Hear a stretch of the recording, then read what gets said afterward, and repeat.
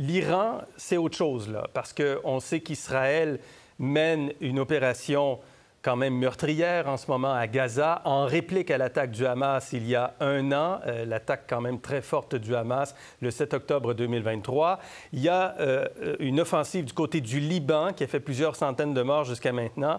Mais là, de voir l'Iran entrer dans le jeu, ça change la donne, Tacha?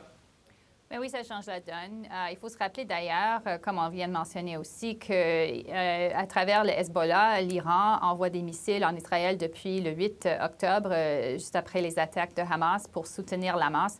Ces missiles tombent sur la région du nord de l'Israël depuis ce temps-là. Alors maintenant, c'est une, une confrontation ouverte, je dirais. ça, fait que Netanyahou avait raison quand il a parlé à l'ONU que le, vrai ennemi ici, c'est essentiellement l'Iran. Euh, et euh, maintenant, euh, c'est évident. L'Israël avait humilié Hezbollah et à travers l'humiliation de Hezbollah, l'Iran, en lançant les, les, attaques de Paget et ensuite en tuant Nasrallah ainsi que plus de 20 ou 25 chefs de Hezbollah. Alors, ce n'est pas inattendu, mais ça expose vraiment le vrai conflit qui est avec l'Iran. Oui.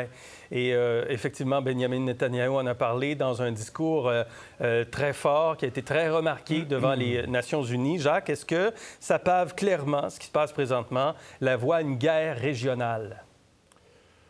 Bien, je ne sais pas si ça pave la, la, région, la voie à une guerre régionale. c'est difficile de, de, prévoir si effectivement Israël va réagir, puis après, comment l'Iran va réagir. va répondre. Bien, Israël va répondre. Mais moi, je, veux quand même revenir, parce que c'est sûr qu'on peut refaire l'histoire aujourd'hui pour essayer de savoir qui est coupable, qui est responsable. Mais moi, depuis le début, je le dis, je le répète, si les États-Unis, et là, malheur de malheur, on est en campagne électorale aux États-Unis, donc c'est difficile de mettre son pied à terre de façon ferme, claire, nette et précise, mais tant que les États-Unis ne le feront pas, Bien, Israël va continuer à faire comme il l'a fait la semaine passée, c'est-à-dire quand la France et les États-Unis ont demandé un cessez-le-feu de 21 jours par rapport à l'agression au Liban, la raison était très simple, c'est qu'on craignait effectivement que l'Iran euh, intervienne comme il le fait en ce moment et qu'il y ait une escalade. Donc, tant que les pays occidentaux et les principaux pays occidentaux ne diront pas à Israël, calmons-nous, mais euh, l'appel, au cessez-le-feu est quand ah, ben, même là, euh, oui, mais l'appel, il n'est pas entendu par Israël. Oui, exactement. Mais il y avait l'ambassadeur tantôt, l'ancien ambassadeur du Canada en Israël, qui disait c'est qui qui mène le jeu? Est-ce que c'est les Occidentaux ou c'est Israël? La réponse est claire c'est pas les Occidentaux, c'est Israël. Mais pendant ce temps-là, les États-Unis financent, appuient et arment Israël pour continuer à, faire ce qui se passe euh, en Palestine depuis, pas depuis le 7 octobre, depuis 50 ans. Euh, comment euh, les, États-Unis doivent se positionner? Ils se positionnent clairement, Martine, du côté, euh, du côté israélien. C'est la position historique et c'est la position très claire aujourd'hui. en même temps, il y a ces appels au cessez-le-feu. Il y avait un appel à la désescalade du conflit, notamment particulièrement au Liban dans les derniers jours. À partir de maintenant, comment les Américains se positionnent? Bien, on l'a vu aujourd'hui, ils se rangent derrière, derrière Israël.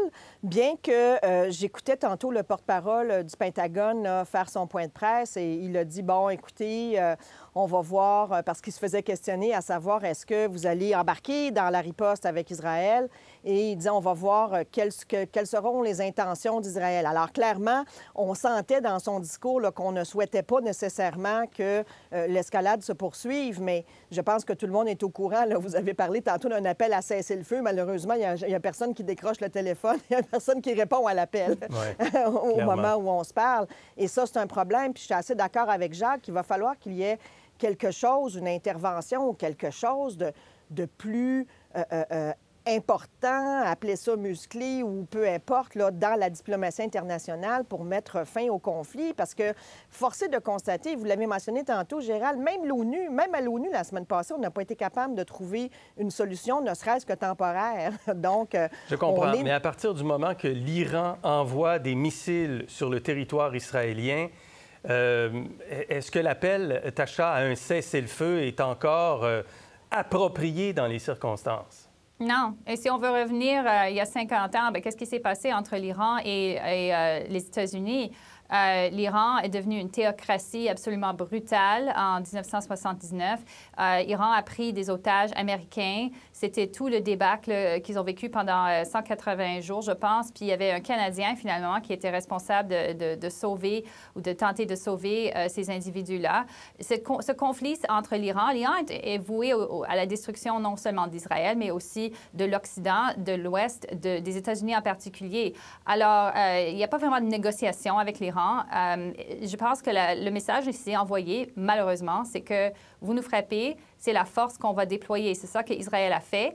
Euh, et les États-Unis aussi, avec grand intérêt à détruire Hezbollah. Hezbollah a tué des centaines d'Américains dans des attaques à Beyrouth dans les années 80. Euh, ils ont attaqué de façon terroriste depuis plusieurs bases américaines. Alors, c'est cette guerre-là, dire que les, États-Unis subventionnent une. Ben, les États-Unis sont en guerre essentiellement aussi par les, proxies, comme on appelle, depuis ce temps-là. Est-ce que les États-Unis doivent aller plus loin? Euh, là, euh, on, on, comprend que les États-Unis ont aidé à intercepter les missiles, mais doivent-ils s'engager dans un conflit militaire direct avec l'Iran? Tacha, Jacques vous et la Martine. Question. Écoutez, eh, on espère, on espère que non, que ça ne va pas venir à un conflit direct parce que oui, c'est une escalation. Présentement, le conflit, c'est entre Israël et l'Iran. Je, doute fortement que l'Iran va, frapper aux États-Unis. S'il le faisait, s'il faisait quelque chose de ce genre-là, oui, ce serait une guerre ouverte. Mais pour le temps, il, il limite ça à ce conflit-là. Jacques? Depuis 1947, on assiste à un conflit entre Israël et euh, les Palestiniens et les Palestiniennes. Ça, c'est la réalité. C'est le narratif historique. Malheureusement, depuis l'échec des accords de Oslo, on est incapable de stabiliser la région. C'est vrai que l'Iran intervient, Tacha a raison. Mais on pourrait dire aussi que l'Iran est soutenu par la Russie. Hein? Parce que lors de la guerre civile en Syrie, l'Iran, les Russes étaient alignés sur le régime de, euh, de Syrie. Donc, les États-Unis n'ont pas d'intérêt sur une escalade, d'abord parce que c'est la région du pétrole et l'Occident a besoin de pétrole, et on ne veut pas d'affrontement non plus avec les Russes. Là. Ça, ça m'apparaît évident. Le tiers du pétrole mondial, c'est dans cette région-là. Mais il faut trouver une solution au conflit israélo-palestinien. Si on n'en trouve pas, ça ne se calmera jamais. Martine. Bien, je suis assez d'accord avec ce que Tacha et ce que Jacques ont dit. Hein. Je pense que les Américains n'ont pas intérêt là, à se à, s'immiscer dans le conflit au point de dire, ben nous aussi... Là, au point de s'engager militairement. Non, c'est ça, exactement. Puis on le sentait tantôt dans le discours du, aussi du, euh, porte-parole du Pentagone, qui était très... Euh, euh, qui demeurait très prudent sur l'intervention américaine et sur les intentions, dans le fond, des États-Unis pour la suite des choses. Alors, Jake Sullivan dit qu'il y aura de sévères conséquences. Joe Biden a donné l'ordre à l'armée américaine d'aider Israël à se défendre contre l'attaque lancée par l'Iran et d'abattre les missiles.